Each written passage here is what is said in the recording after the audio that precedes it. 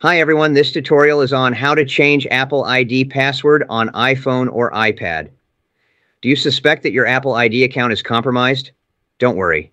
Turner Time is here to help you. This process is shown on an iPhone 12 mini with iOS 17.1. Let's begin our tutorial. Open the Settings app. Tap your Apple ID name. Tap Sign In and Security. Tap Change Password.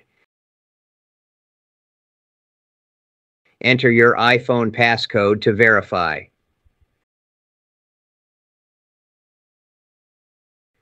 Enter the new password and then enter the same password again in the second field to verify.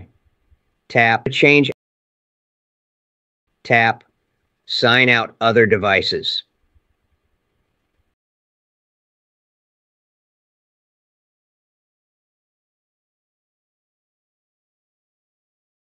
Enter the passcode again that you used to unlock your phone.